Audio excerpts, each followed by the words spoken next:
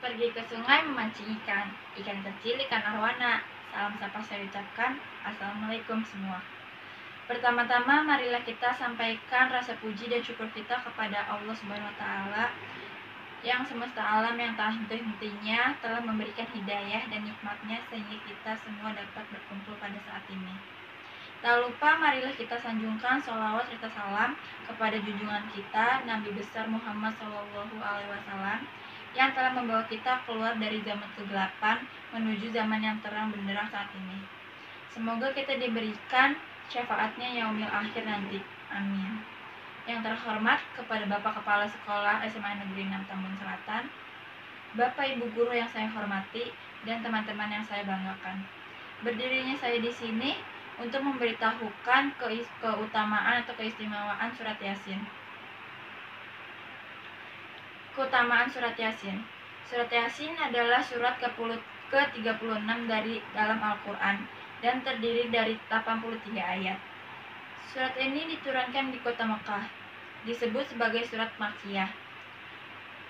Kandungan surat Yasin cukup luas, meliputi pokok-pokok keimanan, tanda-tanda kekuasaan Allah Ta'ala, peringatan kematian, hari akhir, serta kisah perjuangan para syuhada dan pendakwah. Biasanya surat Yasin sering dibaca oleh masyarakat Indonesia, khususnya di malam Jumat.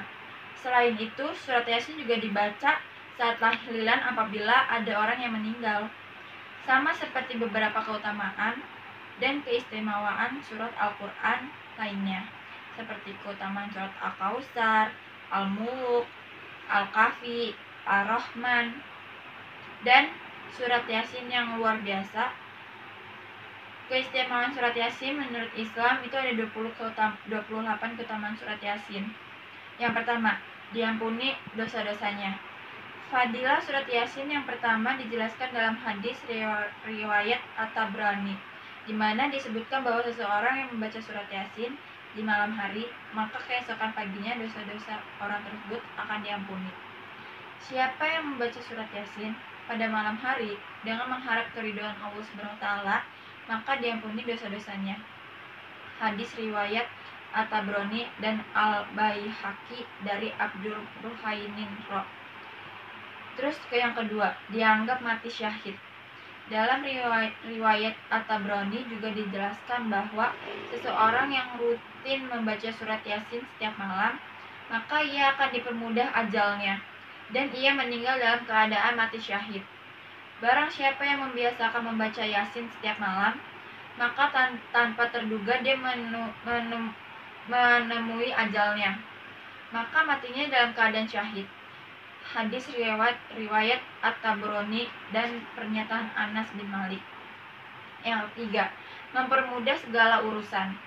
Membaca surat Yasin juga dipercaya dalam mempermudah sebagai masalah hidup. Misalnya masalah hutang piutang, perkat, pertiak, pertikaian dan sebagainya. Barang siapa yang membaca surat Yasin dari pagi hari, maka ia kerjaan di hari itu dimudahkan dengan keberhasilan dan jika membacanya di akhir suatu hari, maka tugasnya hingga pagi hari berikutnya akan dimudahkan juga. Sunaan Da'arimi Juz 2 halaman 549. Yang keempat, mendapatkan ketenangan hati. Membaca Al-Quran sama halnya dengan berzikir, dan seseorang yang memperbanyak zikir, maka hatinya akan tenang. Begitulah keutamaan orang-orang yang rajin membaca surat lainnya. Allah Ta'ala berfirman, yaitu orang-orang yang beriman dan hati mereka menjadi tentram. Dengan mengingat Allah, ingatlah hanya dengan mengingati Allah lah menjadi tentram. Orang-orang yang beriman hati, mereka akan tentram dengan mengingat Allah Subhanahu wa taala. Ingatlah hanya dengan mengingatnya maka hati menjadi tentram. Surat Ar-Da'u ayat 28. Yang kelima, terhindar dari siksa kubur. Siapa sih yang tidak takut atas siksa kubur? Hanya membayangkan saja sudah bisa hanya membayangkannya aja sudah bisa membuat buluk kuduk merinding. Nah, fadahilah surat Yasin luar biasa diyakini bisa meringankan kita dari siksa kubur yang mengerikan itu. Barang siapa yang mengunjungi malam seorang yang membacakan surat Yasin, maka di hari itu Allah Subhanahu wa taala meringankan siksa kubur mereka dan diberikannya kebaikan bagi sejumlah penghuni kubur di, di perkuburan itu. Tafsir Nur atas galanya 4 atau 373. Yang keenam, mempermudah sakarat, sakaratul maut. Membaca surat Yasin juga dipercaya dapat membantu sakaratul maut agar lebih mudah sebagaimana dijelaskan dalam tafsir Al-Qur'an Al-Azim. Membaca surat Yasin, di sisinya mayat akan menurunkan banyak rahmat dan berkah dan memudahkan keluarnya roh. Tafsir Al-Qur'an Al-Zahim 6 atau 562 daran Nasyafar Nasyafar Wat Tauzi Disunahkan membaca surat Yasin di samping seseorang yang sedang menghadapi kematian. Al-Mujsyaih Al-Muhajabah 5 atau 76 Dar Alim Al-Kitab. Yang ketujuh, meningkatkan keimanan.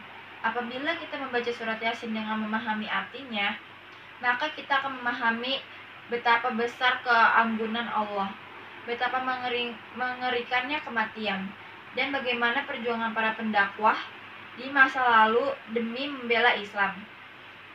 Tentunya hal ini bisa membuat keimanan kita semakin bertambah. Dan yang kelapan, segala hajat dikabulkan.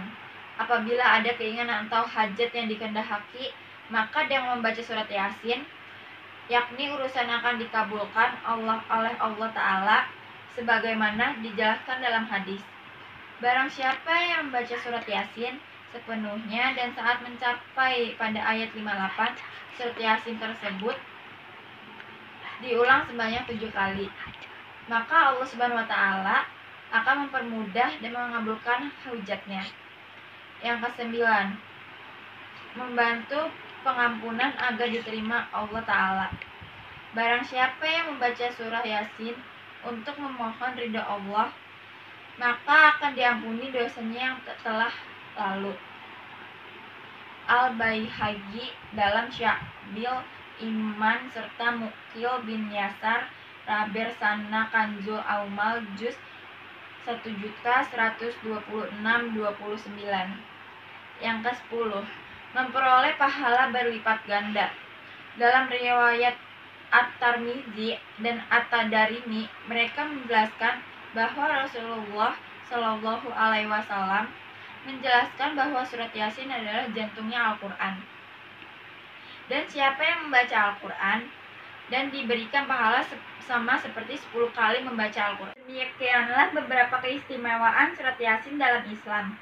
Pada dasarnya, semua Al-Quran itu baik. Manfaat membaca Al-Quran dalam kehidupan bisa mempermudah segala urusan menjadi penolong kita di akhir kelak nanti. Tak lupa juga kita wajib mengamalkan rukun Islam, rukun iman, fungsi agama Islam, dan fungsi Quran bagi umat manusia. Sekian pidato ceramah dari saya. Kalau ada kata yang salah, mohon dimaafkan. Sekian, wassalamualaikum warahmatullahi wabarakatuh.